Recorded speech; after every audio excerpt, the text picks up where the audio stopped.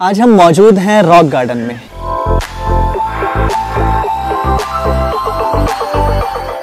एक ऐसा rock garden जो चूड़ियों से लेकर के, प्लास्टिक की बोतलों से लेकर के, संगमरमर की छोटी छोटी पत्थरों, ईंटों से लेकर के।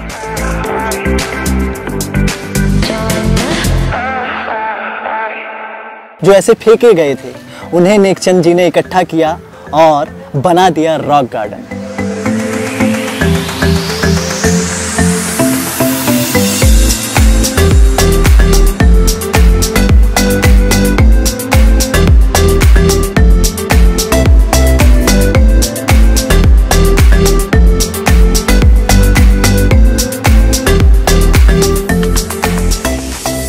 नमस्कार, आप देख रहे हैं दी इंडियन नेस और मैं हूँ आपके साथ शुभ शुक्ला। आज हम आपसे को आए हैं रॉक गार्डन की खूबसूरती दिखाने। आपको बता दें कि इस रॉक गार्डन को आधुनिक अजूबों में से एक माना जाता है। 15 दिसंबर 1924 को जन्मे नेकचंद सैनी ने इस गार्डन को बनाने के लिए काफ़ी मेहनत की थी। उसके बाद उन्होंने बहुत सारे काम किए। काफ़ी सड़कें बनाई, काफ़ी काम किया सरकार के हाथ, काफ़ी सारे काम में उन्होंने हाथ बटाया।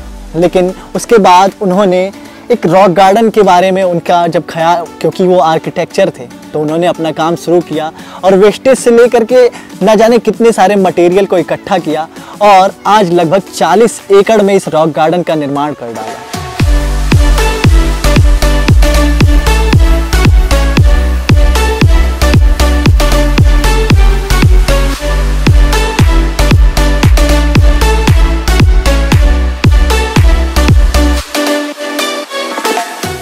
आज 35 एकड़ में बना ये रॉक गार्डन देखने में ये किसी धरोहर से कम नहीं लगता।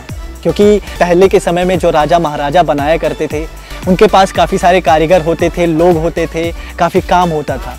लेकिन नेकचंद सैनी ने ये अकेले बनाया, अपने दम पर बनाया, कि वेस्टेज से बनाया, जो कलाकृतियों से लेकर के आकार या फिर प्लास्टिक की बोतलें या चूड़ियों, इन सबको उठा करके नेकचंद सैनी ने इस पूरे गार्डन का निर्माण किया है।